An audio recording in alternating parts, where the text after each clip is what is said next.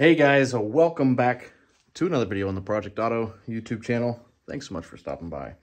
And uh, in today's video, we are finally going to tackle the coolant leak um, in the Volkswagen Jetta. We finally got our new water uh, outlet housing assembly. Uh, so we've got it pulled back into the garage here. Um, so we're going to uh, get that changed out and hope that that fixes our issue. Um, so I will be showing you guys how to replace the water outlet housing on a 2004 Volkswagen Jetta. I'm sorry if you hear the cat in the background. I have an outdoor cat that really wants to come in here, but I'm busy. So, all right, let's get started.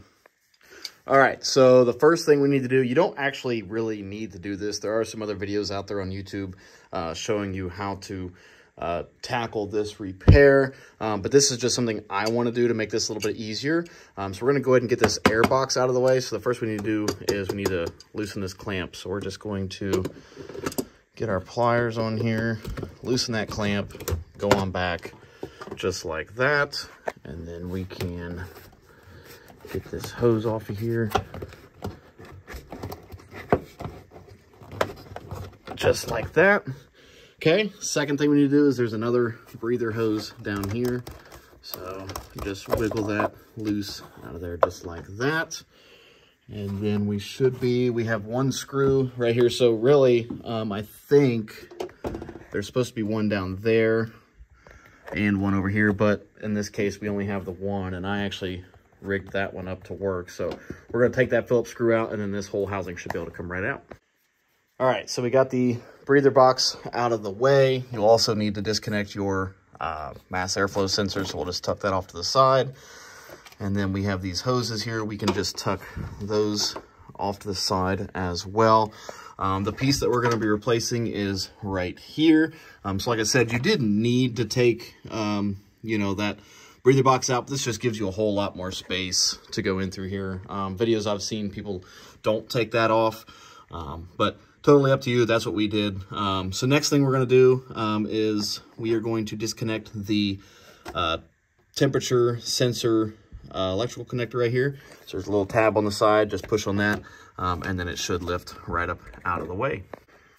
All right, so what we're going to do instead, um, we are, since we're not going to replace the temperature sensor, um, you know, in most cases, I would recommend doing that, but this one's not that old, so I don't think we're going to need to uh, replace it. Um, but, so instead of disconnecting that uh, electrical housing, there is a little C-clip that goes right across here. So just go ahead and pull that out, and then you can pull the whole uh, sensor right out of the hole. Now, don't be alarmed. You will get some coolant. As you can see, we've got uh, coolant coming out there, uh, but we do have a bucket underneath that we're going to attempt to uh, collect as much of it as we can. Um, but uh, we got that temperature sensor out of the way, so we're going to go ahead and start removing the hoses. Um, so in this case, you have three. One in the front here, one on the back, and then one down there in the bottom. So we'll go ahead and get those out of the way. You will get more coolant, so just make sure you have a bucket ready. Alrighty, so we got the back hose there unhooked. We got this front hose unhooked. Um, we did, you know, obviously lose some more coolant. Um, so you're going to have coolant everywhere. Don't be afraid of that. Everything's going to be fine. Uh, we do have one hose left there on the bottom. It's kind of being stubborn. I got the clamp off of it, but uh, it's a little stuck. So we're going to get that one off, um, and then we'll move on to the next step. All right, so we got that bottom hose off. So the next step is, it's gonna be kind of hard to see, so I'm gonna see if I can't get you guys in here to show you. Um, there is one 10 millimeter nut right there. And then there's another one right there. You can kind of see it's covered in that pink stuff right there. Um, those two 10 millimeter nuts need to come out and then the uh, whole assembly will be removed. All right, so we got the bolt out on that side, you can see. Um, this side's a little bit more tricky. Um, I don't know if I'm gonna be able to get a good camera angle here. So right there, you see we removed the one 10 millimeter nut and it's slotted right there. Um, this pipe that runs across the top here, or hose, whatever, um, once we get that 10 millimeter nut out, we need to lift that hose up just enough. Um, and then there's a another 10 millimeter bolt behind there that's actually holding the entire housing in. So we'll lift it up with one hand um, and then try to get the 10 millimeter in there um, and get it out. Alrighty, so we went ahead, we got that last bolt out, we got this thing out. Um, you can see there's no visible cracks. This is a plastic housing. There's no visible cracks, uh, but you can see that gasket's pretty well, uh, pretty well shot. Um, and that is definitely where our problem was because you can see the, uh, the remnants. And when we observed the leak before, it was leaking straight down right there and then going down behind the motor. Um, so this was definitely our uh, culprit here. Um, so now that we got that out, we need to clean up that mating surface just a little bit. So I'm going to do that off camera, um, and then we'll be ready to install the new uh, water outlet. Alrighty guys, so we are ready to install the new water outlet. We've got our gasket installed. Um, just a heads up, make sure that gasket's in there um, properly and evenly. Um, you don't want it popping out or pinched or anything like that. So we've got that in there. So now we're going to install it. We're going to do the back bolt first because that's a little bit more difficult. Um, but like I said, just it's very important to make sure that that gasket is in there all the way and it's in there perfectly. Alrighty guys, so we got it in there. I've kind of jumped ahead a little bit. Um, but we got the new water outlet housing um, in there. Both bolts are tightened. We've got the uh, 10 millimeter nut on right there. Um, that back one's the hardest. Uh, but like I said, if you just um, lift that top hose up out of the way and then just carefully put in that back one, make sure you don't uh, cross thread it um, or strip anything and make sure that you don't over tighten either one of those um, because you are tightening against plastic and threading into an aluminum block. So very easy to crack that plastic, very easy to strip out those threads. Um, I would say a good 10 to 12 foot-pounds um, is a good number because you want it pretty snug as well because that's a high pressure uh, area.